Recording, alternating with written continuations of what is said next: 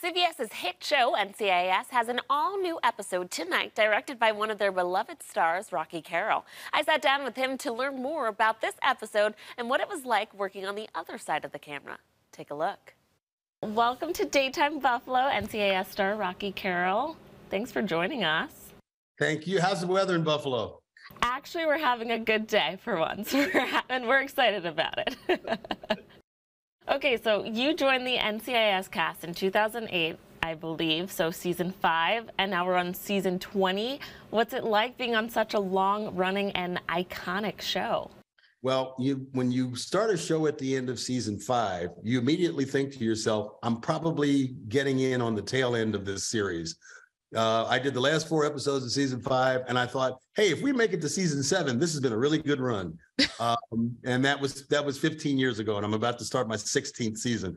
So when, every time I say it out loud, I'm still like, you have to pinch yourself because you know shows don't run that long. You know, and I jokingly say all the time, most careers don't last 16 years. So you know, it's it's it's it's incredible. Um, and the fact that we're not just we're not just hanging on, that we're still you know, we're still doing great in the ratings. It's it's got a worldwide audience. Um, you know, a few years ago, I went to Europe and I stepped off a plane and I heard all this commotion, and I thought, well, you know, there must be somebody from a band or something on the plane, and they were, they were it was actually they were they were saying hello to me, and I couldn't believe it. So, um, the the worldwide um, uh, love for this show is incredible, and you know, and we're we're still going, about to start season twenty one. Incredible. Um, I'm sure your real fans know, but for some of the viewers that aren't aware, you've actually directed over 22 episodes, including the one we're going to see tonight. Um, what made you explore being on the other side of the camera? You know, I've been asking myself that question quite often. Sometimes when we're in about the 10th hour of shooting and I'm and I'm running on fumes, I'm thinking, well, why did you ask to do this again? What was, what was your purpose? It's it's um it's an incredible experience. I at, at, this stage in my career, you know, I've you know, I I first set foot in Hollywood 33 years ago as an actor, and to now uh, be a part of something and be behind the camera, learning the craft of directing. And I tell I still tell people I feel like every time I do an episode of this of our show, I, I learn something new about directing. So to feel like I've learned a new language and that I'm you know something that I didn't start out uh, doing initially, but it's now such a part of me. I love working with the actors and I love the confidence that the actors have, knowing because I'm an actor that I will mm. understand and respect whatever process they have as actors. Absolutely. And you kind of touched on it, but does your acting experience sort of influence your directing or vice versa?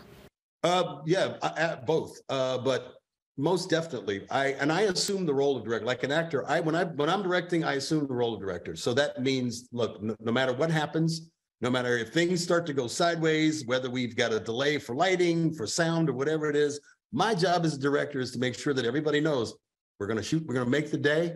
This is going to be a great episode. The scene's going is going to be perfect, and I'm, you know, and if if my energy is positive, then it trickles down to everything else, and it makes the day seem a lot shorter. So I, I just like it when I'm playing a role on television, I assume the role of director. Mm-hmm.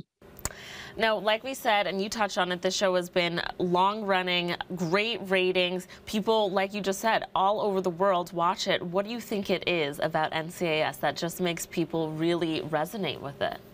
You know, I've, I've been asked that question many years uh, uh, over the over the last few years, but I really like, I really think that there's a simple justice. Uh, the main character, you know, our initial main character, uh, Gibbs, who was played by Mark Harmon so wonderfully, this character had such a, a, moral compass, and I believe that we all have a have our own sort of moral compass. But he had an innate sense of right and wrong.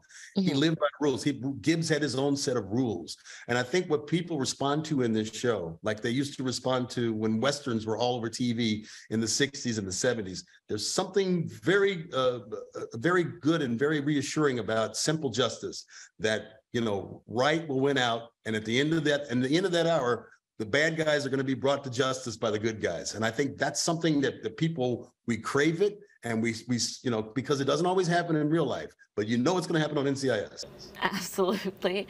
Now you kind of touched on it i think but what part of yourself do you bring to your character, Dr. Vance? Because he's been such a staple to us. I grew up watching the show. well, you know, you, you bring all sorts of aspects to your, you know, I think Vance is a combination of every every every acting teacher, every director, every every mentor that I had growing up, um, who basically would take nothing short of excellence. Um, uh, would accept nothing short of excellence for me as an actor. Um, you know, I and it's really I am paying homage to a, a lot of my um, teachers and mentors that I had growing up. Because if I didn't have somebody who, you know, who who you know who who kept me on the straight and narrow, I wouldn't be sitting here talking with you right now. Mm-hmm. What can we expect to see from tonight's episode? Well, tonight's episode is aptly titled In the Spotlight. Um, Katrina Law, who plays Special Agent Jessica Knight, makes a daring rescue from, uh, uh she rescues a, a, mother and son from a fiery car crash. Uh, and you know, just a natural instinct. She witnesses, she sees it happen, she jumps into action. And of course, in the world that we live in now, somebody watching it has a camera phone and they capture it all on a cell phone.